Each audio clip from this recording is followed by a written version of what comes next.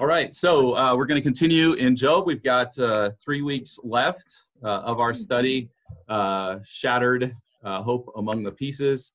And uh, last week we looked at Job and Job's kind of final rebuttal of his three friends. And then starting this week, Elihu will be introduced to us, who's been sitting on the sidelines waiting for his turn. Uh, we may say patiently because he did wait for the three friends and Job to, you know, conclude their discourse after 25 or so or 30 or so chapters. But uh, we can tell from Elihu's uh, comments that uh, he was not waiting patiently. Uh, so we'll get to that in a minute. Um, one interesting uh, outcome from this is that through this, uh, Job especially has been waiting for an answer, waiting for a word from God, waiting for some sort of um, reason uh, for this. And, you know, his friends have continued to say there are certain reasons, and he continued to deny them.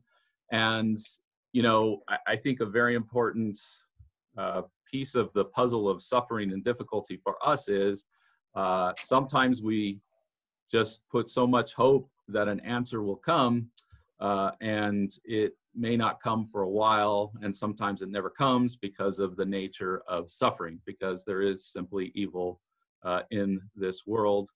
Uh, but job will eventually get an answer um, probably not the one that he wants and uh, but it is an answer.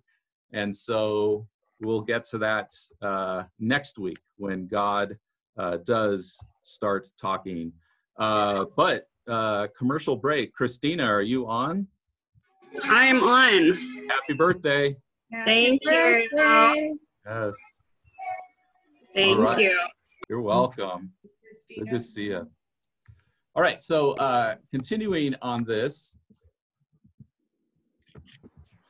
So uh, just as I was doing some uh, study over the week, uh, I'm going through Romans and came across Romans 11 and just, uh, wow, uh, what a uh, perfect passage from the New Testament to reflect what we've been going through and will continue to go through Job. Romans 11:33. Oh, the depth of the riches of the wisdom and knowledge of God. I mean, that's one thing that continues to pop up. Um, we don't understand, and Elihu is going to talk about that too. We don't understand, no human can really understand the wisdom and knowledge of God. How unsearchable his judgments, and uh, there is um, arguably a judgment going on here. There is something, some growth that Job needs for sure, but it's not a judgment because of major sin, and has passed beyond tracing out. Who has known the mind of the Lord, or who has been his counselor? Um, who has ever given to God that God should repay them? Far from him and through him and for him are all things. To him be the glory forever. Amen.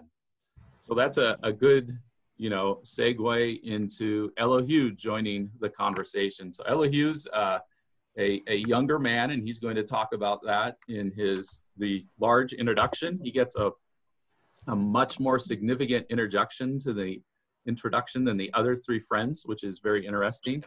Uh, he actually is going to have uh, four uh, discourses or four um, complaints, if you will, against Job, whereas the most that the other friends had were three. And so it's a really interesting situation how he pops up here. And so Elihu has been there for a portion. We don't. We. It doesn't seem like he showed up in the uh, beginning for the seven days of sitting quietly because he's not mentioned. But at some point he shows up and observes uh, the interaction between the four of them. And so verse one says, "So these three men stopped answering Job because he was righteous in his own ey."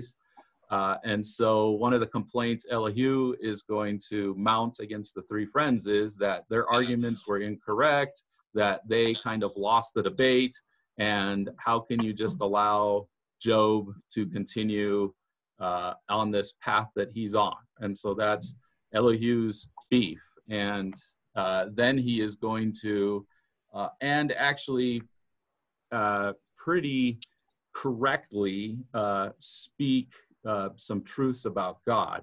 And so um, I want to get back to that phrase, righteous in his own eyes, in one second. But verse 2 But Elihu, son of Barakel, the Buzite of the family of Ram, became very angry with Job for justifying himself rather than God.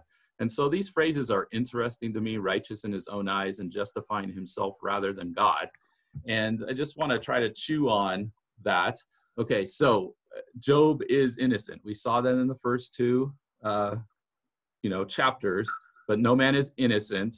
Uh, he he does have um, not a complete understanding of God, but putting him aside for the rest of us, in what ways do we as humans justify ourselves instead of God? I mean, what what is what is the scripture saying with that that comment there? Justifying himself or justifying ourselves instead of God. Thoughts on that? we're masters at rationalization. It's good, Don.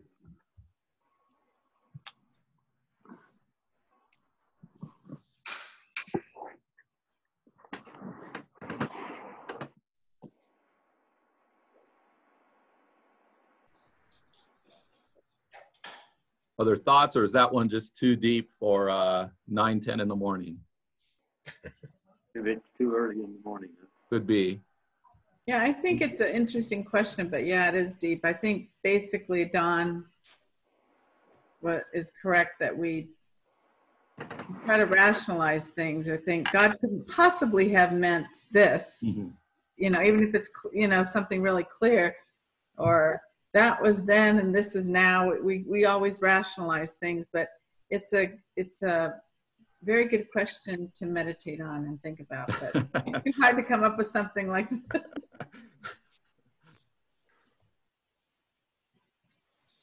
Okay, well then meditate as we continue. Uh, so verse three, because there will be a couple more like that coming up. So uh, hopefully that was a, a good warm up. Uh, verse three, he was also angry with the three friends because they had found no way to refute Job and yet had condemned him. No way to refute him and yet had condemned him. Now Elihu had waited before speaking to Job because they were older than he but when he saw that the three men had nothing more to say, his anger was aroused. And uh, so that's what we see with Elihu. He's a younger man. Uh, so he uh, allowed the three older, uh, and he's going to talk about wisdom here, older, wiser men to have their debate with Job. And he kept his mouth shut. I mean, that was a cultural thing. He allowed um, you know, the elders of the community to have their discussion. But once there was an opening, once there was silence, once he saw that uh, Job had won the debate, even though, you know, I'm sure Job isn't thinking of this as a debate, he's just um, trying to speak of his innocence to his friends uh, because he's going through a difficult time. But once that has happened, uh, he uh, feels it is his opportunity to speak. And as I said, he is going to have the longest uh, discourses of the four against Job. And so uh, this was just an interesting one. And I know I've done this in my life when I've kind of built a case against someone or have just, you know, there's something wrong here with this and I can't believe this. And then uh, I go and you know communicate that case against an individual and then it completely falls apart and i realize that they're innocent and that i was wrong but have i ever continued to condemn them anyway because i was already on that path and i didn't want to uh, i kind of gave into my pride and allowed me to can keep going and i guess make a bigger fool of myself so uh, any thoughts on that particular one i mean that's another one no way to refute Job, and yet they condemned him anyway. Am I the only one who resonates with that?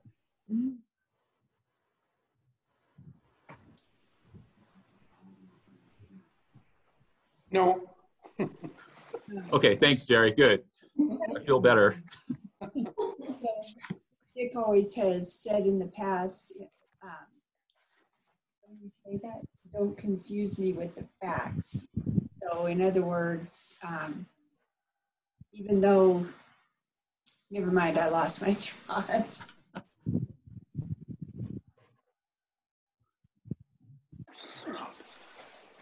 I think again, sometimes we go with feelings and maybe you think something is wrong, but you you feel like something's wrong and then you get the facts, but you still have this deep feeling it's not right. I'm not sure. It's it's a hard it's a hard question. It's a hard thing to um, come to terms with, but Yeah, I mean, I, I mean, where I'm thinking of you, you get put so much effort into something. You know, they're wrong. They've done something. They've wronged me. Um, I know it emotionally. Um, and here's like a fact. Maybe it's something I can use in my case.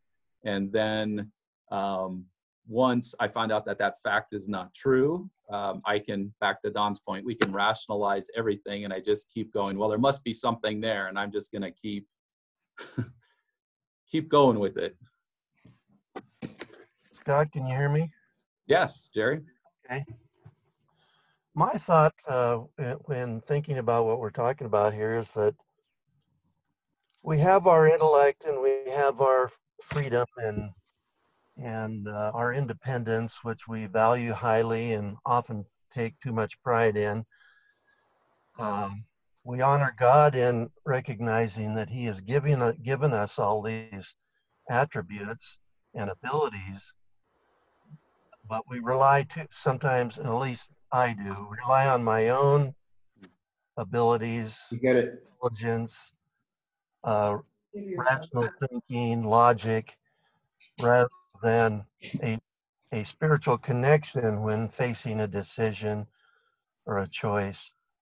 Um, I don't rely on God to be involved in all those important things in life. Sometimes. Yeah. And it it tends to get me deeper into um, self serving self rather than God. Mm. Yeah. Yeah, that's that's good, Jerry. Uh, instead of relying on the Holy Spirit, we do rely on our own wisdom, the wisdom of man.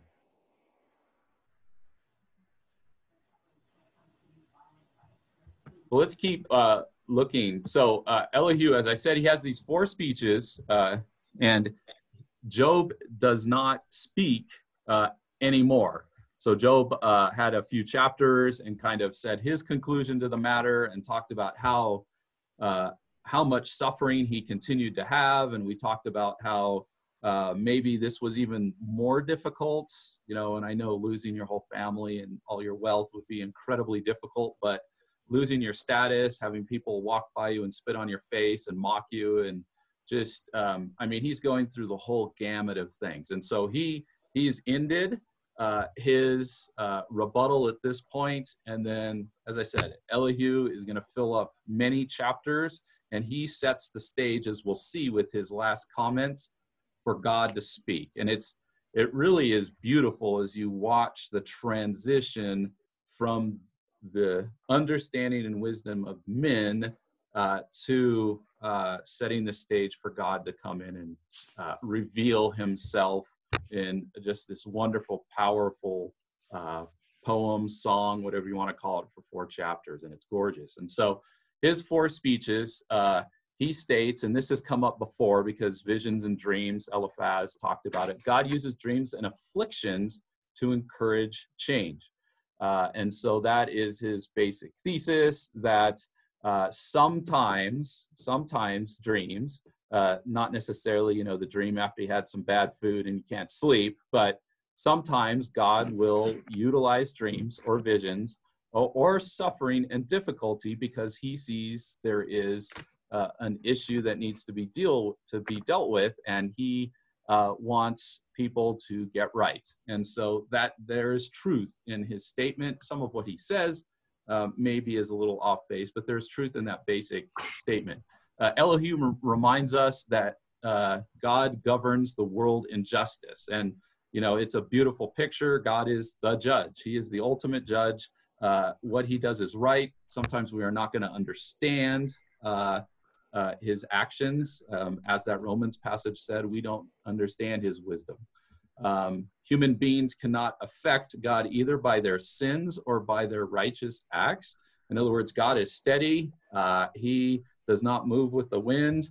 And um, I mean, frankly, anything that we do doesn't surprise him. Um, and lastly, God disciplines those in need of discipline, sometimes with suffering, and prepares the way for God, sorry, uh, God to speak by contemplating divine glory manifested in a thunderstorm. And so, as he builds his case, he's going to start saying, and then God will interject sometimes. And when he interjects, at least in this case, it's going to be in a powerful, powerful way. And so be careful what you ask for. You wanted an answer. You know, can you really come into the presence of God and receive an answer? And are you ready, really ready for the answer? And honestly, in this case, there is no answer. Okay. God speaks up, God answers in the way that he wants to answer, but it's not an answer that any of the five human beings uh, are necessarily expecting. And so that is, you know, chapters 32 through 37 of the four speeches from Elihu.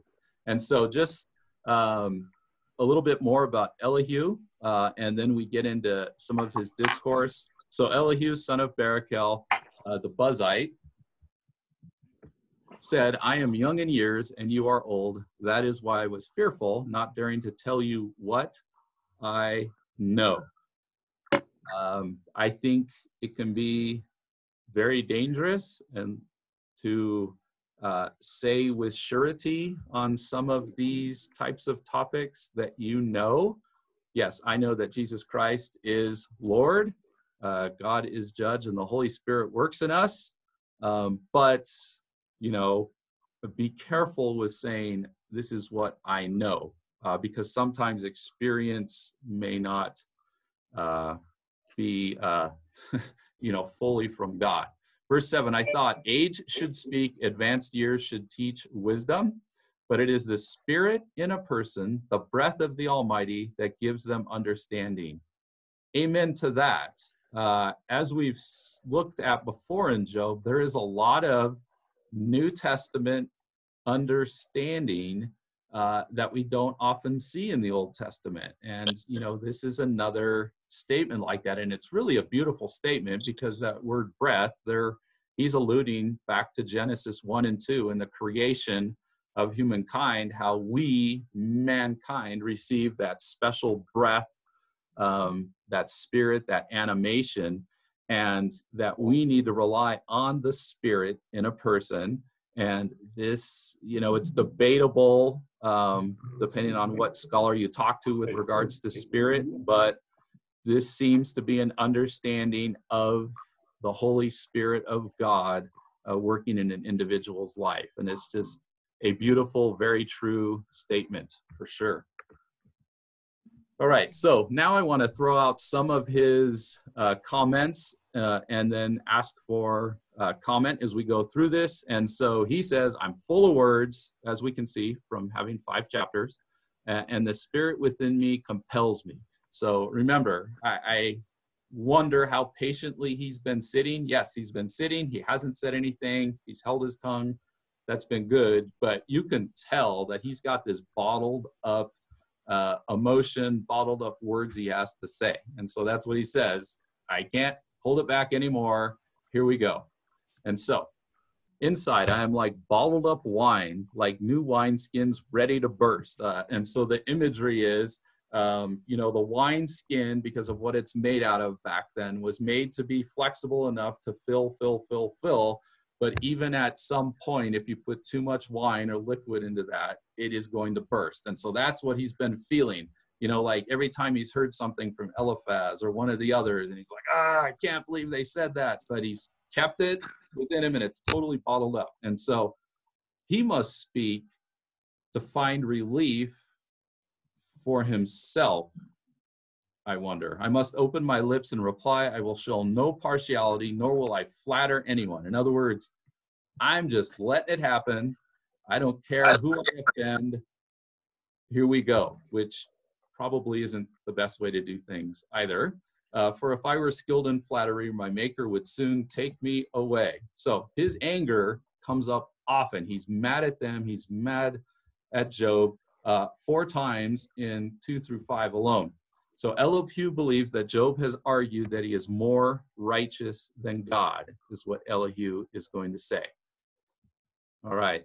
Now, what's really interesting is the name Elihu means he is my God. So Elihu is my God, and he feels he needs to uh, speak for his God. All right. Any, any comments on that? Was that you, Ralph? That was. He had, he hasn't been listening very well.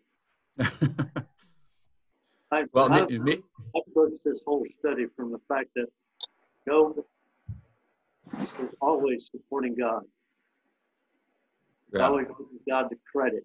And as I look at the afterglow of that comment, it's hard for me to get on the same page as you're on because I've read the whole thing from a different point of view. Uh-huh. That's, that's kind of interesting to me. Yeah.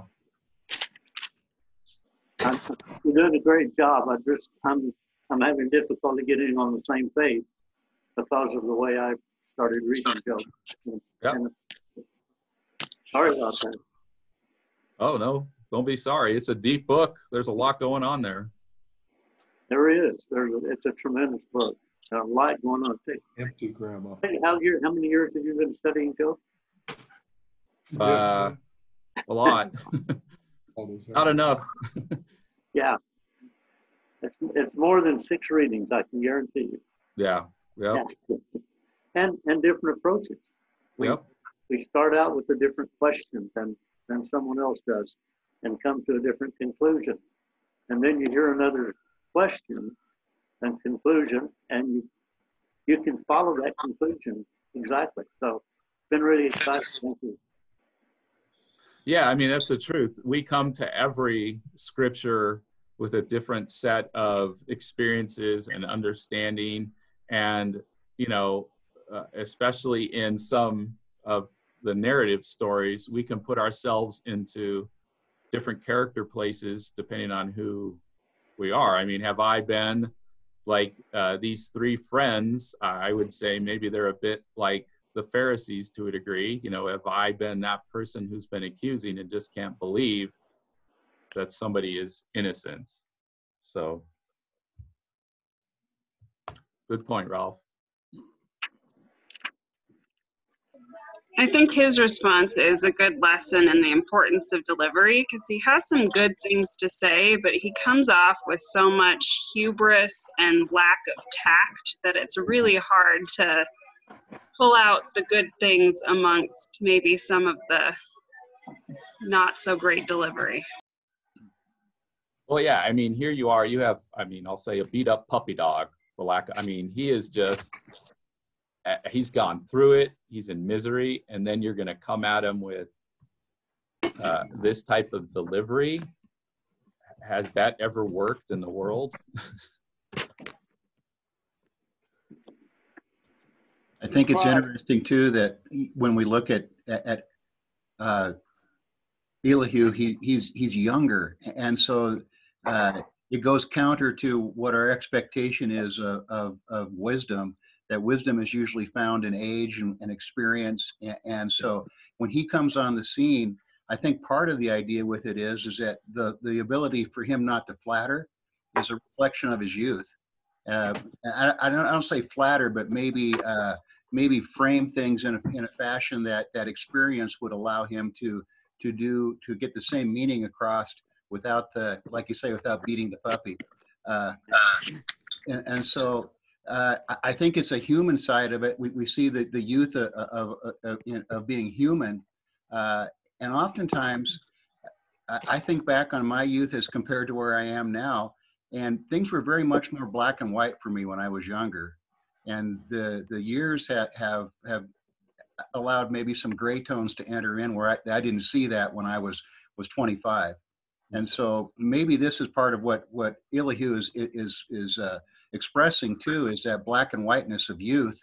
Even though what he's saying is true and, and correct, perhaps, uh, but it lacks it lacks like uh, Christina said the the ability that it, it, it's full of hubris. It's it's it's full of of accusation.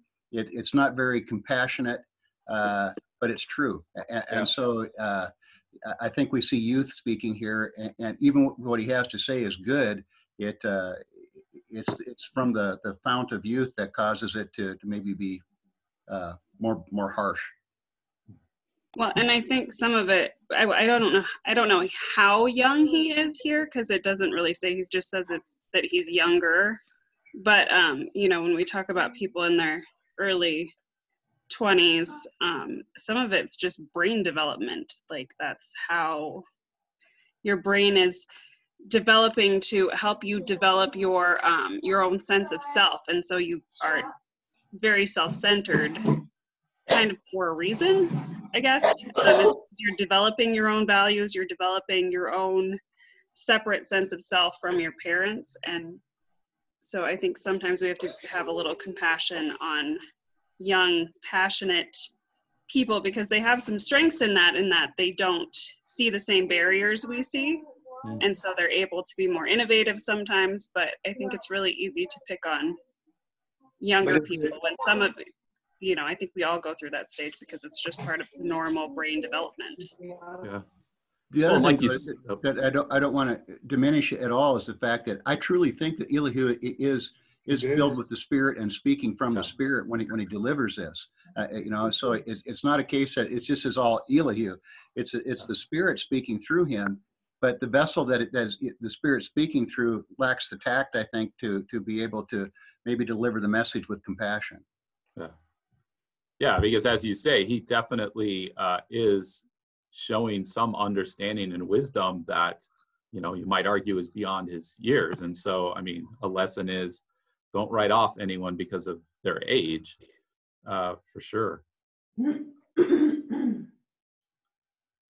Well, let's keep uh, working through. So, just some excerpts. Uh, this is from 33. My words come from an upright heart. My lips sincerely speak what I know. So, back to what you just said, Randy. The Spirit of God has made me. The breath of the Almighty gives me life. Uh, I mean, Elihu, who, you know, he is my God, uh, his name means, he really um, seems to have a, a strong relationship with the Almighty and an understanding of who he is. Um, I'm just going to keep going because of uh, time. Uh, for God does speak now one way, now another. Yeah, would would we all agree with that? God speaks one way, sometimes another way, and even to uh, us in different ways. Though no one perceives it, in a dream, in a vision of the night, when deep sleep falls on people as they slumber in their beds, he may speak in their ears and terrify them with warnings to turn them from wrongdoing and keep them from pride, to preserve them from the pit, their lives from perishing by the sword. And so that uh, what uh, God is saving man from, in this case, Job, uh, the pit comes up uh, many different times. So that place of agony, and it really, there even is a uh, eternal life thing that comes up when Elihu is speaking.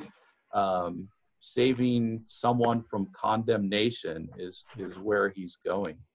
Um, any thoughts on that? Because I believe 14 through 18 are uh, it's that's some pretty deep um, eternity theology going on.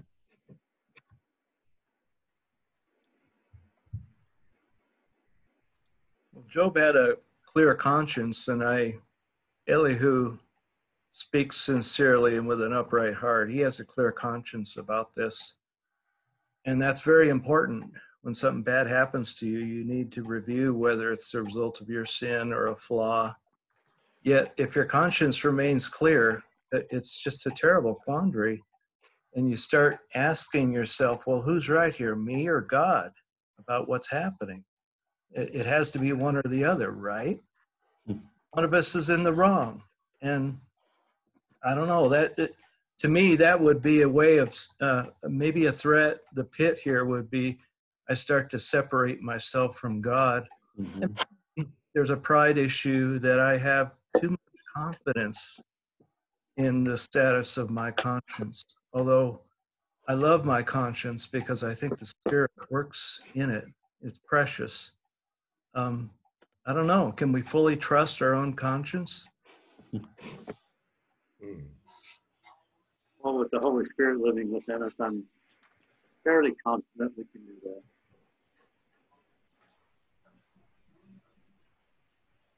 I think if you sincerely ask God to, if you sincerely reflect and ask God to show you any shortcomings that maybe you have that you, any sin that maybe you're unaware of, I don't think He would hide that from you.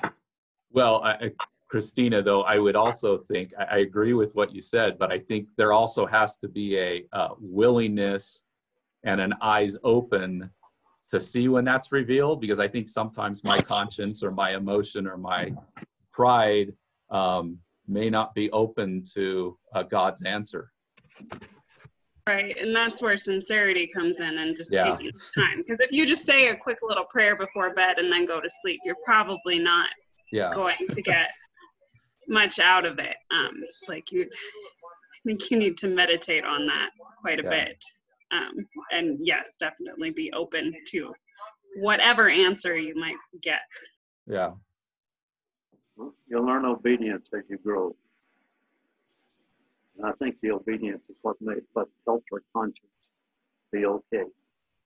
It's obedience to God. That's good, Ralph. I mean, I, I think Paul even alluded to it too. I mean, uh, it, it does seem like a con, it, it, you know, a battle that continues. Um, you know, the inner versus the outer, and uh, Holy Spirit versus conscience, and uh, yeah. So when you are fully obeying God and growing in your relationship and understanding of Him, um, those two can meld together better. I think it too, you know, this idea of, of looking at uh, uh, the eternal aspect of it, the pit, versus the temporal aspect of what Job is enduring. Uh, oftentimes, I think we, we focus on what's happening to us in the physical, and we get so wrapped up with what's going on in the physical that we lose track of, of, of the greater eternal picture that we're, we're trying to we're trying to to live into. Uh, and, and so I, I think here it's it's a case that they're focusing so much on what's going on with Job's physical condition that uh, Elihu is reminding him of, of a greater spiritual condition that he has to be aware of. And I, I think of New Testament references, you know, where it talks about suffering and count all, all you know all suffering as joy. Uh, I'm not seeing a lot of joy in Job and, his friends right now, and maybe you know Elihu's trying to drag him back into that that framework a little bit.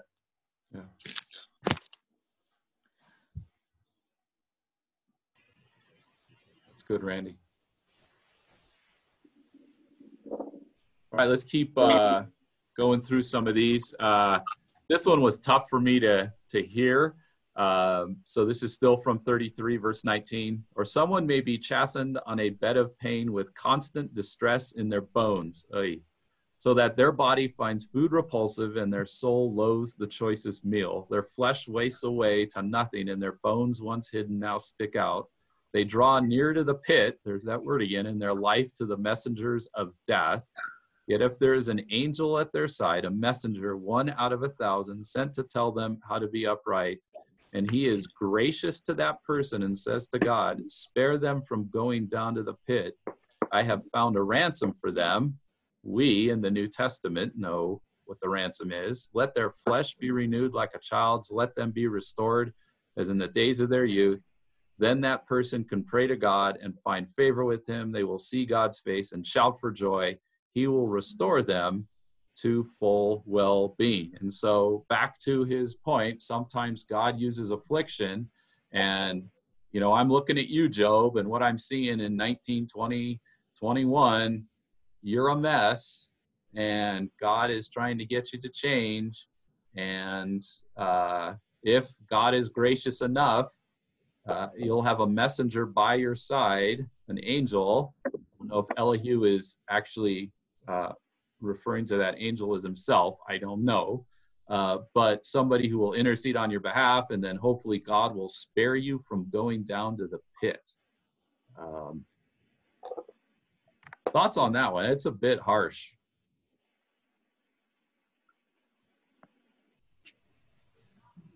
I would, uh, I would like to put it in the context of just sharing the, the thoughts that I've gotten out of the last 10 chapters of Job. It's an extremely humbling book. Hmm. Yeah. And it, it just strips away all false pride. It doesn't leave any room for false pride. Uh, it, it just reinforces the idea to me that we should never try to second guess God's motive in anything. Hmm. He's got no obligation to explain anything. And to expect it or look for it is kind of a, a trap of trying to make ourselves like God. The, it just seems like the extreme arrogance would be to think that God needs our approval or our permission for anything that he chooses to do. Hmm. And I'm left with the thought that I have to credit to uh, Oswald Chambers in today's uh, reading. Just trust God first and trust in the outcome. I think Amen. it goes to that, that idea that, you know, God promises rescue. It's just that the rescue doesn't sometimes come in the form that we think it's going to, should be in. And, and, and I think a lot of times we look at Job and Job is looking at a rescue and, and, and this speaks to a, a physical rescue. Uh, God, God doesn't necessarily promise us that on a consistent basis. So, uh, but he does promise us an eternal rescue and through his son. And so, you know, we, we take comfort in that and it allows us to endure what goes on in the physical perhaps but a physical rescue isn't no way guaranteed if you've searched your heart, I mean, it seems like Job's people here are still insisting, Job, you need to repent. Um, you know, you even if you don't realize there's a sin, you probably sinned anyway, even though you don't even know it. And there, I think there were sacrifices in the Old Testament for that situation. Yeah. Um, but uh, Job, with a clear conscience, said, "How can I repent if I don't even know what I'm repenting from?" Um, so this insistence on repentance, and maybe what we're seeing here is that um, there are times where, as Don said, where you just need to trust in the outcome, and um, with move forward and keep your relationship and trust with God. Great word, brother. Trust. I, I remember Alan and I were pretty young and we were leaving this very small congregation for um, one of our many, many moves. But it was hard for us and we kind of felt like, I felt like we should have stayed.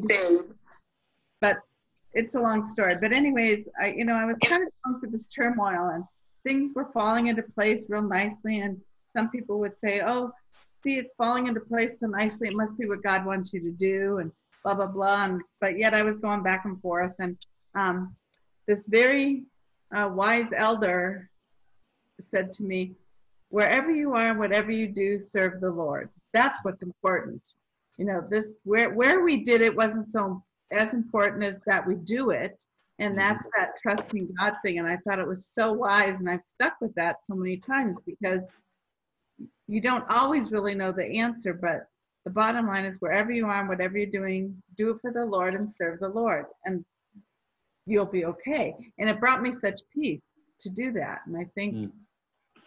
You know, the actual details of every minute decision might not be so clear to me, but I'm but our life should be in service to the Lord. And that's what the bottom line. Amen.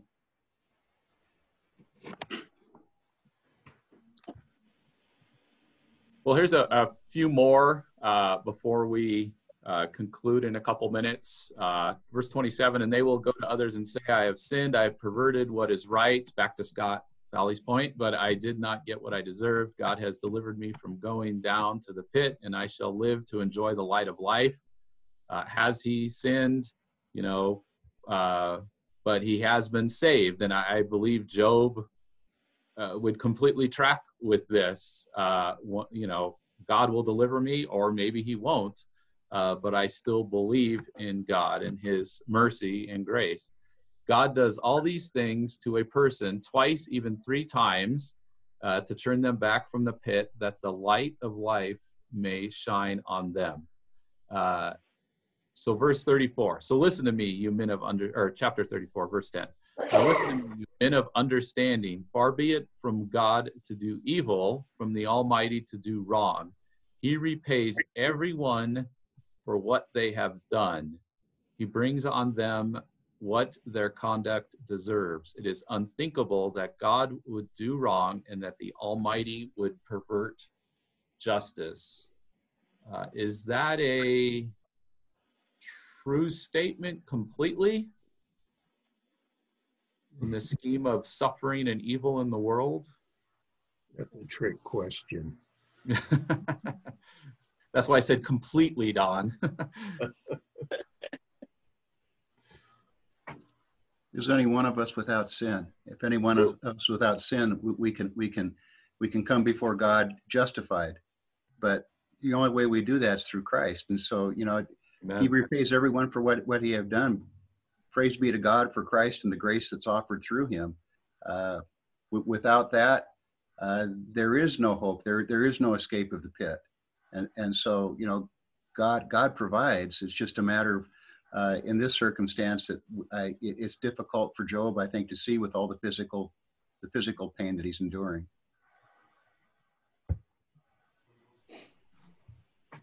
So it's uh, as we go through this, uh, Elihu asked Job uh, to speak, but uh, Job is, I think, so I don't know, dumbfounded or uh, believes it isn't worth speaking, or maybe is in his mind going, Yes, I, I believe, I understand what you're saying. I totally know God is just. But Job doesn't say anything. Uh, you know, and then he, uh, Elihu says, Job speaks without knowledge, his words lack insight. Oh, that Job might be tested to the utmost for answering like a wicked man. To his sin, he adds rebellion.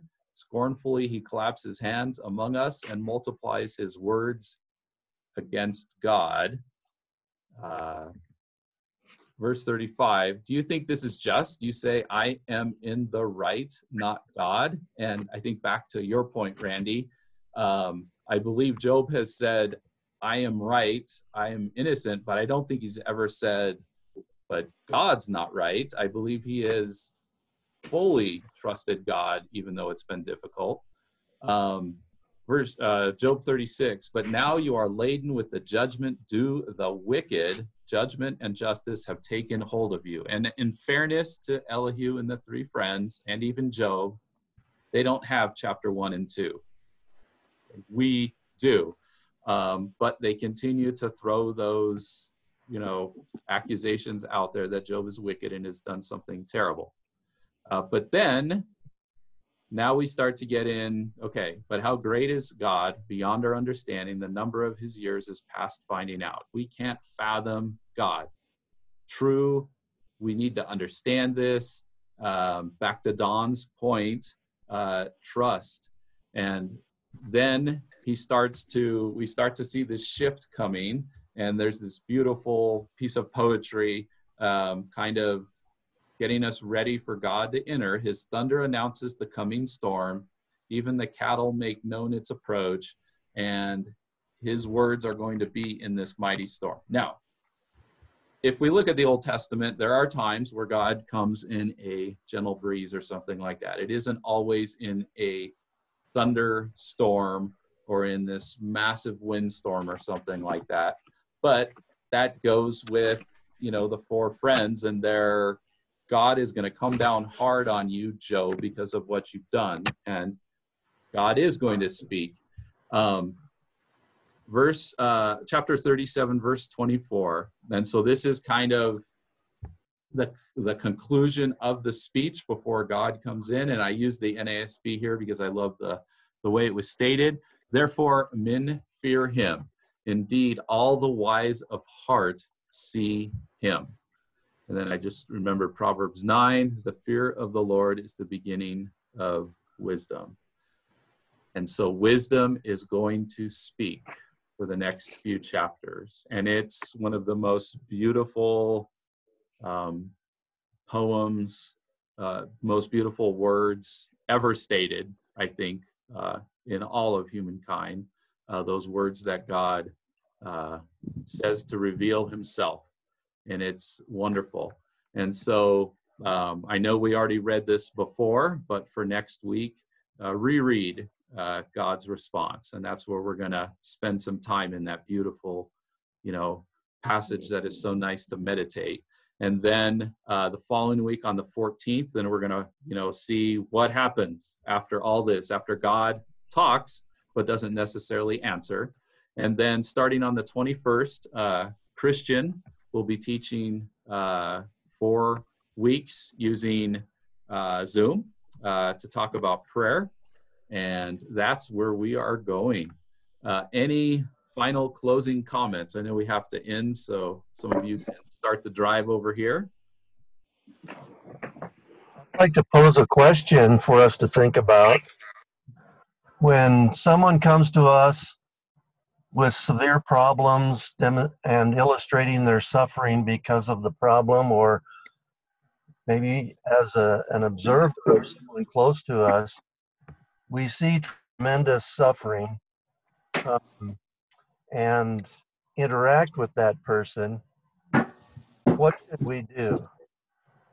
I think we have read today where the initial assumptions were off base and the responses were motivated by that initial assumption that Job had sinned and is continuing in sin.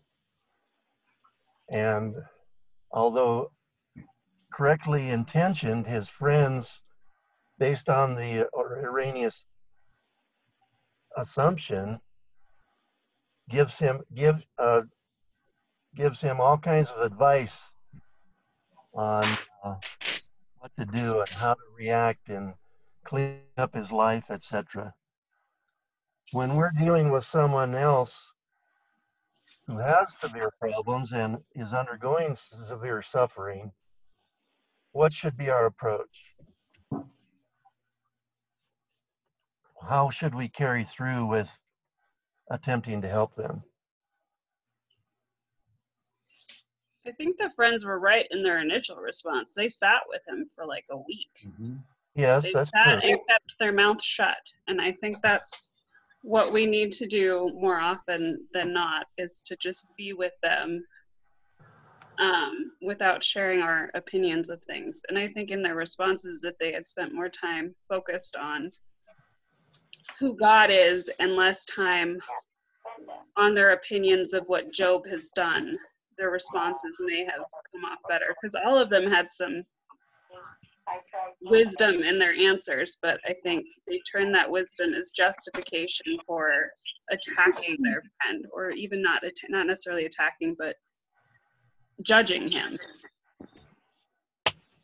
A contemporary commentary on what you and Jerry have just shared uh, comes from the ethics of Dietrich Bonhoeffer, who said that, in his view, humans stand at a point of transition toward God reality. In their penultimate state, people act according to nature. In their ultimate state, people act in God reality as manifested in Jesus Christ in the face in the face of death, for example, people act according to nature express a silence of helplessness. And in their God reality, people express consolation. Both stages are necessary for the full experience of humanness, which takes place in a social context. Well, I really believe that Christina hit upon the solution to our inner, our human interaction with people with severe problems and undergoing severe suffering. But it requires a lot of discipline not to jump in and try to solve their problems for them. And uh, she's right. Initially, they sat and listened and just spent time with him. But I guess the lesson that I'm getting out of the study of Job is that they should have continued in that mode and reinforced um, the fact that God will, God is in control, God will make good come out of bad, and all the principles that, of course, we understand fully now. Uh, but that that discipline not to jump in and try to solve another person's problems and immediately try to relieve suffering is a good lesson to, to take from from what we're doing here. Uh, thank you, Jerry. Well, folks, it is uh, five till. Uh, we need to end this session for today. Uh, we'll see you all on Zoom next week and uh, see some of you in a half hour or so. So, blessings. Hello. Bye. Bye. Hey, be happy. There he is. Rakim.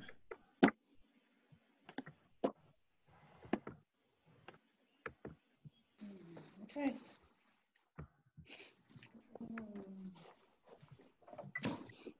So they're not live streaming, are they?